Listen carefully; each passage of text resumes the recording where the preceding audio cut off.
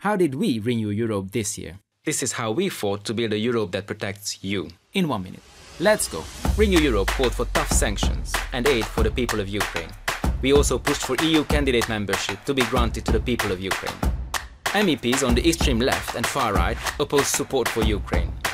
This made us fight even harder to ensure that no illiberal policies are financed with EU money. Renew Europe also led the response to tackle the energy crisis created by Putin. We acted to protect our energy supplies. We worked to end our dependence on Russian gas by investing in renewables. We created new rules that will help to defend our critical infrastructure from attacks.